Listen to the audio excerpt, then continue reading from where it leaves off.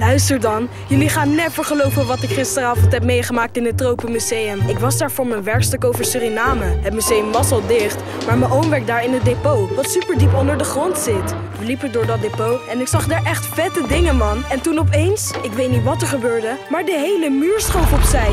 Ik zweer het je, we hebben een soort magische Surinaamse wereld ontdekt. Je moet het echt zelf zien.